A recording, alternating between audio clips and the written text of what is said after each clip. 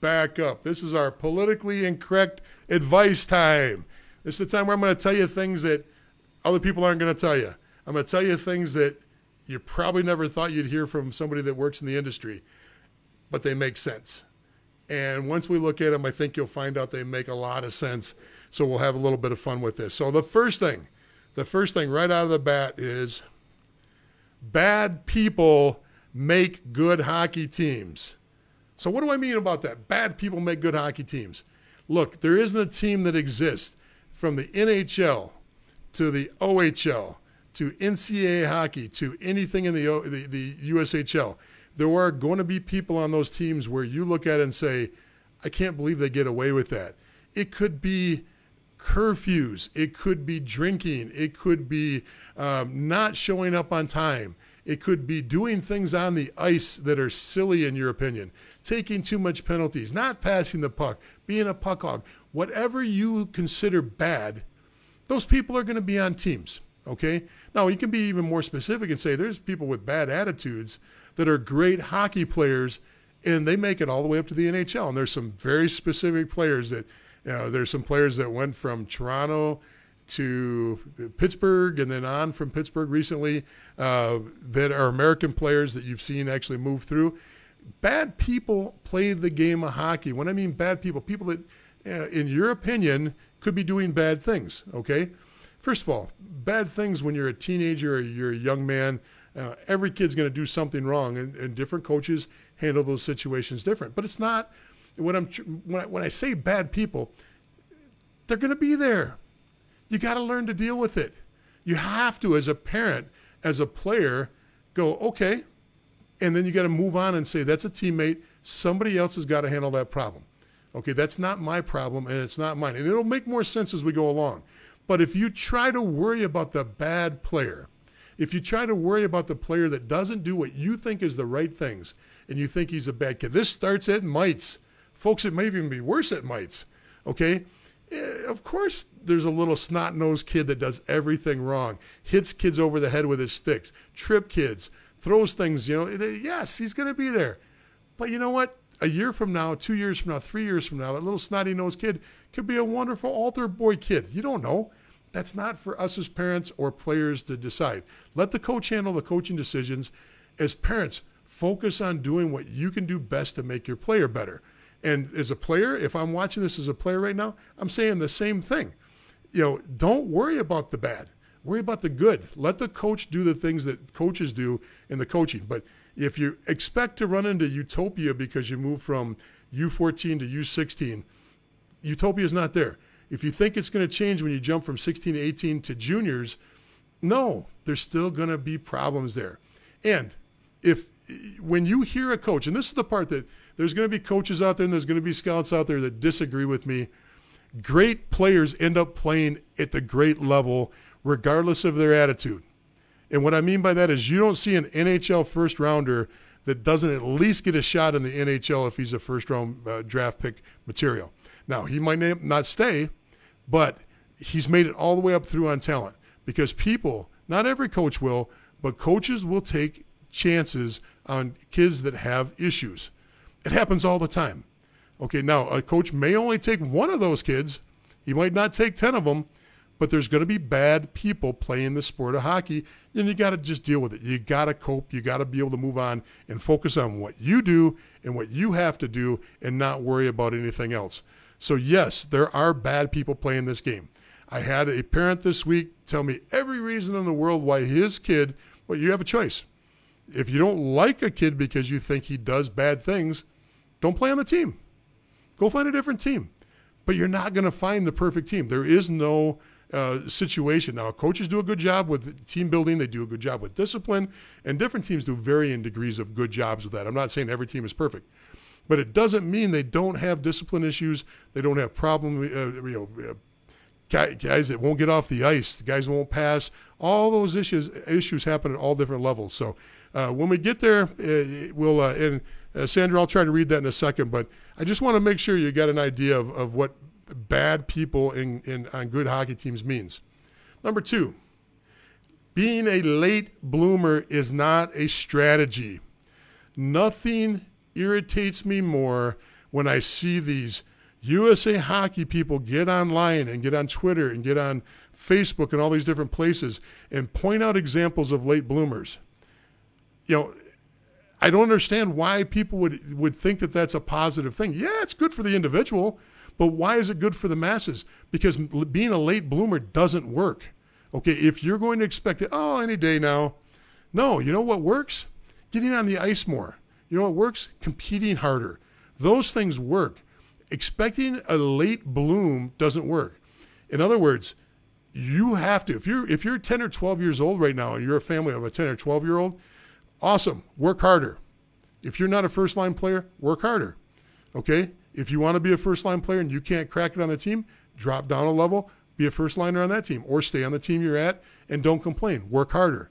There is no situation where late blooming is going to be an effective strategy for you.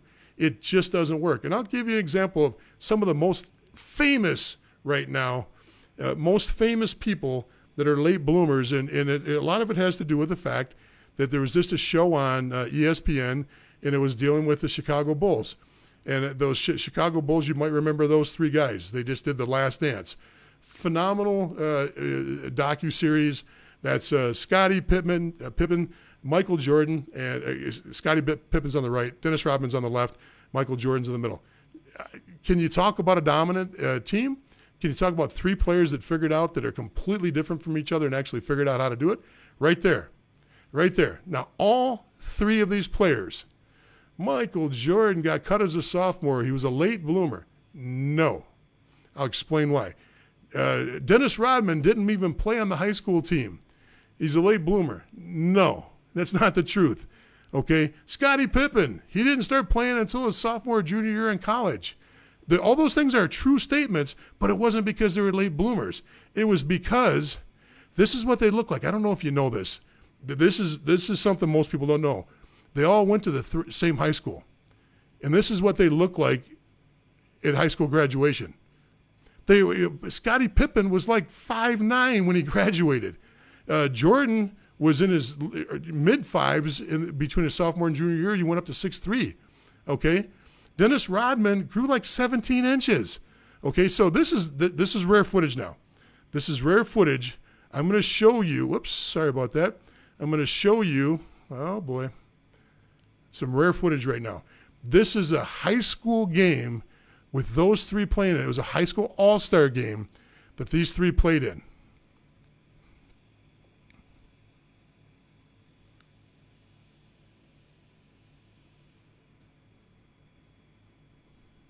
Told you we weren't going to be politically correct tonight, didn't I? I think I made it very clear we weren't going to be politically correct. My point is, all three of those guys grew almost a foot apiece. That's why they became great players. Jordan's skill set, yeah, he was a hard worker. He was a hard worker before, and he was a hard worker after he grew. But he still wouldn't have been a starter if he stayed at the same height. You'd have never heard the name Scottie Pippen if he didn't have a growth spurt. You'd have never heard of Dennis Rodman if he was still five six when he was in, in college you can't be a number one uh, rebounder. You cannot be a number one rebounder in the NA, in the NBA if you're not close to seven foot like he was, between six eight and seven foot, whatever he was. Now, that's the point I'm making. There are so many things that late bloomers are. Mostly, late bloomers fall into two categories. Late bloomers fall into growth spurt category or change of sport in focus category. In other words, I was a baseball player and a hockey player, and I gave up baseball and focused on hockey. Now, that's a late bloomer because somebody that decided to get serious about it, maybe a little bit later in other ones, they can make a big jump in it. But somebody that's been serious about the sport for 14 or 15 years, or been playing since they were three and they're 17 now, the odds of a late blooming situation popping out of that don't count on it. So when I say it's not a strategy, that's what I mean. It's not a strategy. All right, let's get rolling on this list. I told you tonight Tonight's not a politically correct night. They will not find you. Nothing irritates me more than walking into a rink and seeing that salty old coach sitting over on the side going, oh, just play, just play high school, just play, you know, for the local team. If you're good enough, they'll find you. If they're good enough, they'll find you. That's absolutely absolutely the dumbest thing I've ever heard in hockey. You have to market yourself. And I'm going to give you another example because I'm on a roll for examples tonight. Here's my example tonight. This is my boat. Well, it was my boat. I sold it last spring. Okay. I love this boat. This boat, I, I redid the whole boat, 320 horsepower. Ooh, fast, 55 miles an hour on the water. Ooh, just adored this boat. About four years ago, went to the wife and I said, I know you don't like riding the boat. It's too fast for my son because he only knew one speed, and really you got to be able to temper it or know how to, you know, control a boat with that kind of speed in the water. It's a little too fast for me even. So we decided we're going to sell this boat. The boat didn't sell for four years. Secretly, I didn't really want to sell the boat, so I kind of found ways to sell it but not sell it. So it sat in the driveway, and I told my wife, eventually somebody will drive by, see the boat. It's a beautiful boat, and they'll want it. Okay, four years. But then all of a sudden I decided, you know what, I got to get serious about this. I really, good, it's good. You know, the, the, the, the neighborhood association starting to say, you know, do something with that boat.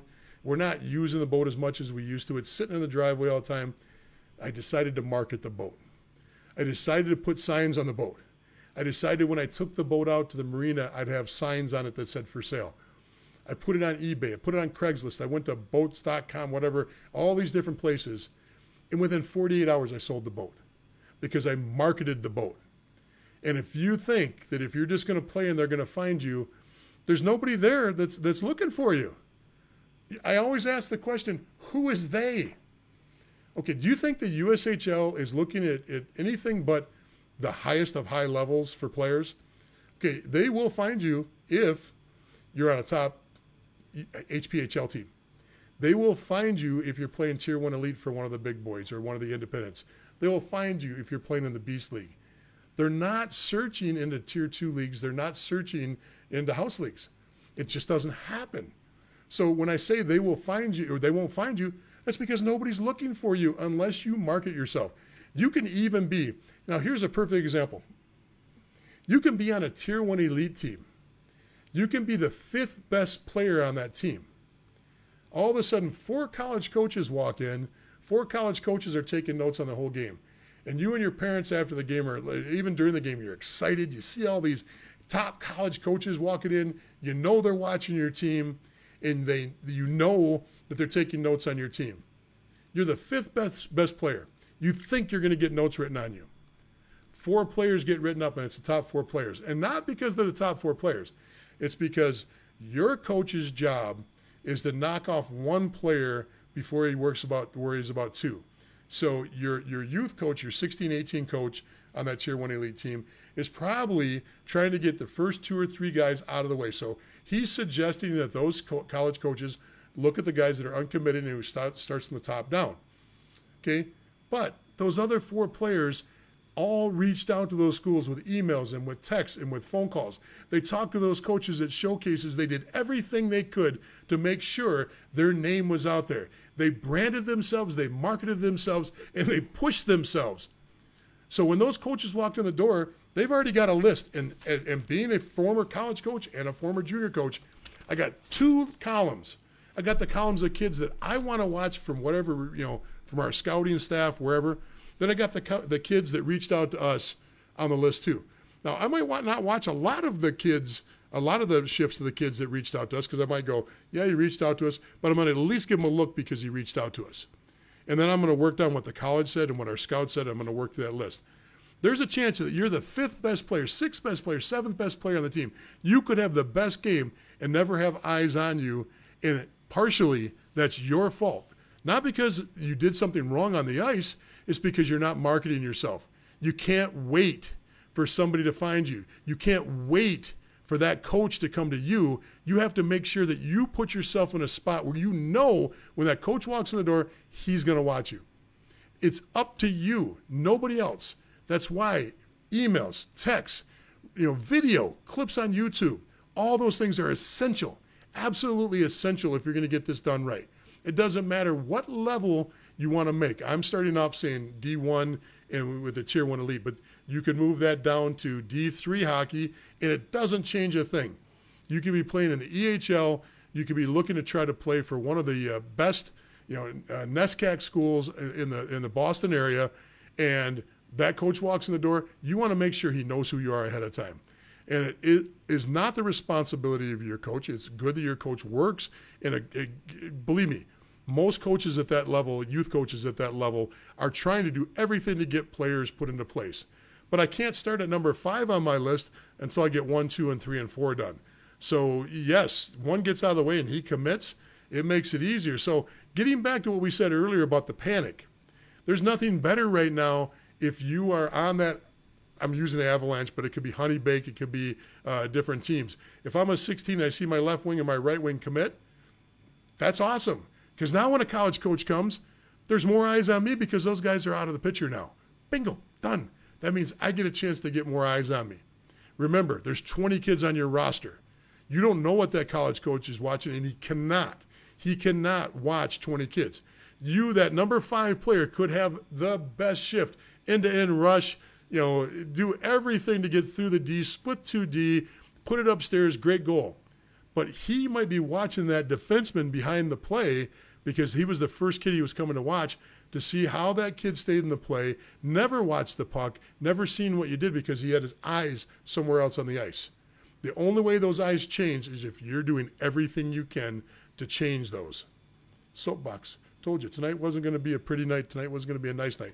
I'm ranting politically incorrect, feeling a little ornery tonight. You're going to see a little bit of that. So let's get back to my list. Oop, why are you not listing for me your list? Oh, this is the best one. This one is the one that is going to irritate people when they first read it. Selfish players are the best players. Did I just say that? Selfish players are the best players. Give me a team, give me 20 selfish players, and I'll win championships. Give me 20 selfish players, and I'll go somewhere with a team. What do I mean by that? A selfish player gets in that locker room and is focused because he's worried about everything he needs to worry about. He got sleep the night before because he's selfish. He ate the right meal because he's selfish. He's on time because he's selfish. If he's late, he knows he's got all kinds of distractions. He's got to deal with that coach. He's got to deal with things if, if he doesn't show up on time. Okay? He doesn't get worried about little things and little distractions because he's selfish. A selfish player is the best player you can have. If you don't believe it, you don't think Wayne Gretzky was selfish or Mark Messier, look at some of the great players around right now. You know how you can tell they're selfish? Watch what happens when they get off the ice. Are their eyes going everywhere? Are they jumping around? Are they chatting? Are they smiling? Are they trying to see where their girlfriend's at in the crowd? Are they winking at their mom saying, hey, mom, how are you doing over there? No. They get off the ice, their head drops, they look up, they take a drink of water, they might watch the play a little bit to stay involved in the game, but they're focused. Selfish players are great. Now, I'm not, yeah, yeah, yeah, yeah, I'm going to get into this. Many of you, many of you have heard my chocolate uh, cake story, but I'm going to throw it out there again abbreviated, going to keep it shorter. Toronto game's on. I get it. You don't want to be stuck with you know this old guy talking to you all night long. But the chocolate cake story goes something like this. Team's getting ready to play. They get done with their little warm-ups. They're up running back and forth, jump rope and skipping. They all get back in the locker room. They're getting dressed. 10 minutes before the game, most of them are dressed. Into the locker room walks fat little Johnny. Remember, I told you tonight was not a politically correct night.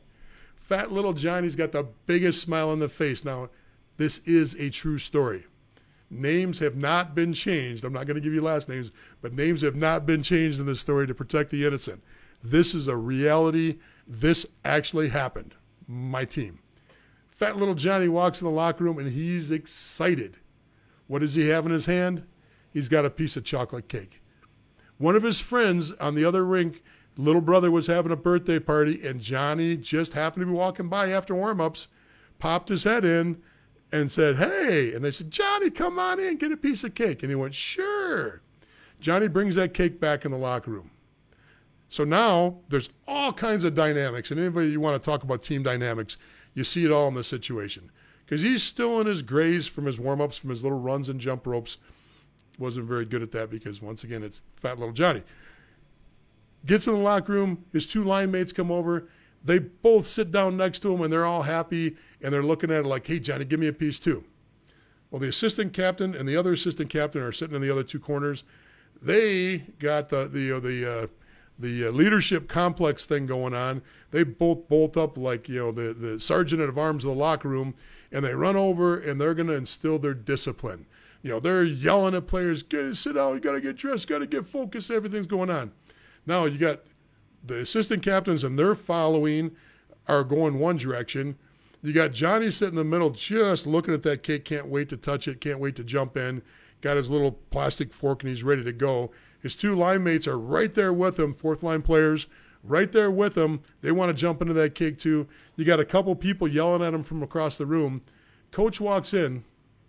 First thing he does is go, Captain, what the heck is going on in here? And you know what his captain did? Nothing.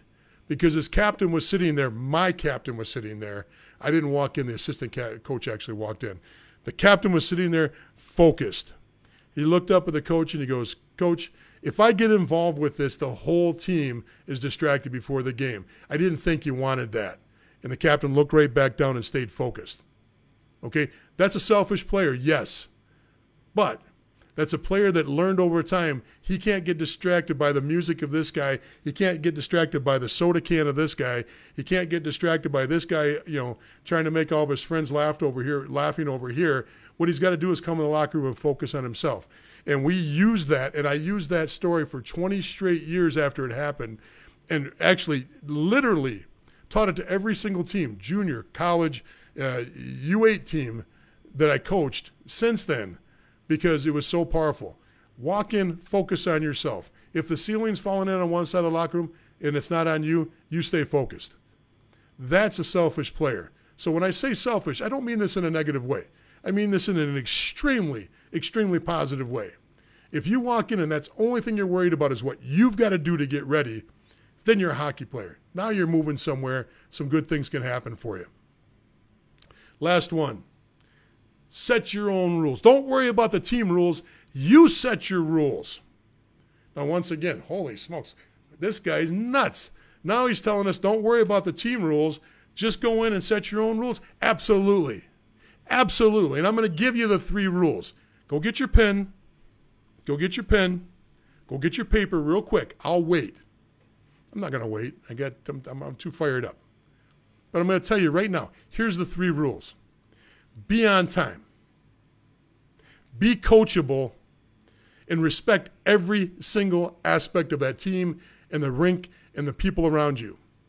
Because if you're on time, you have no issues with the team rules. You, you those three rules, on time, respectful, and coachable, means that you're bought into everything that could possibly be put in paper. When I first started this, I was a road warrior that carried a binder that started out with a couple pages of rules by the time I was in about my fifth or sixth season, I had a three ring binder of team rules that was probably 30 pages long. I'm married to a lawyer too. Didn't help. She didn't help me at all in that. Just kept adding, oh, there's a bylaw clause about that. No. Three rules be on time, be respectful, and be coachable. If you do that, along with being selfish, you're golden. Whatever the team rules are, you're going to abide by them because you're on there on time and you're listening to the coach. Is there any better way to be than setting your rules and setting your standards higher than the rest of the team? If you're selfish and you have your own rules, now you're in a spot where you absolutely are setting yourself up for success to be recruited and to find those things. Now you can tie into the marketing side of this and you can tie into you know strategy and branding yourself. All those things are things I do in webinars. That's that's not what we're talking about right now. We're talking about setting yourself up to have the best possible successful season with a team, regardless of the bad people, regardless of the coach. You could have the best coach or the worst coach. Put yourself in a spot to be successful, and you do that by being a selfish player that puts the time into setting his rules first before he worries about any team rules. Because your rules can last your whole hockey career. Team rules will change every single season. Hell, there's coaches that will change their own rules or don't abide by their own rules. So if you've got rules that are tougher than the coaches, you're going to be set. You're going to be putting yourself in a very positive situation. What do you think about that? Too far tonight? Too politically correct or incorrect? So I hope you enjoyed that. And uh, oh, the score is still one nothing. Ooh, ooh, still tight game. I'm surprised we got a, a big of audience we We were up in the 50s for a while. Remember, this I, I, I never can figure this out. We get only 30, 40, 50 people at a time live. Now, over the course of the whole hour, you know, there, there's a couple hundred people. Then we put this on replay and it goes nuts. It goes through the roof on the numbers. This week wasn't as great because the NHL's been back and we're, we're fighting that. You know, I don't have the pandemic audience the way uh, locked the way I used to. So my market share is going back to the NHL. Hey, listen, I want to get to the one question that came in. I just got to find it again. Let's see if I can scroll back and uh, put that uh, together that came in earlier. So Tom asked a question. Uh, so same time, uh, Mark. Yes, it is same time every week. We do the show every uh, Sunday night at nine o'clock. Uh, Tom's question was: I have a question for you. Do you recommend uh, a particular website or listing for your child's hockey accomplishments uh, and academic as well?